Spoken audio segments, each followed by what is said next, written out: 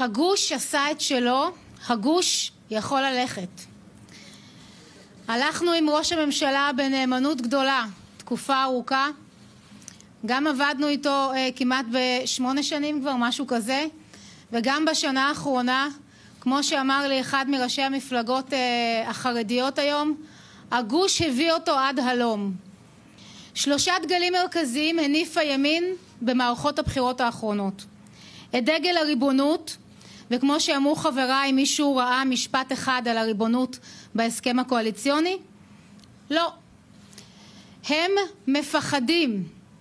יכול להיות שמעמיר פרץ ואיציק שמולי שהתראיינו לא פעם בשבועות, האחרונות, בשבוע, בשבועות האחרונים נגד ריבונות, או מגבי אשכנזי ובני גנץ, שגם אותם שמעתי אומרים שהם ישימו לריבונות ברקס.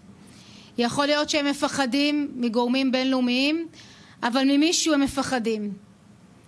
אנחנו לא היינו מפחדים, היינו דורשים להכניס את המילים האלה לקווי היסוד. הדגל השני זה הדגל המשפטי. סלאח א-דין נמכר למעוזי השמאל וההסתדרות.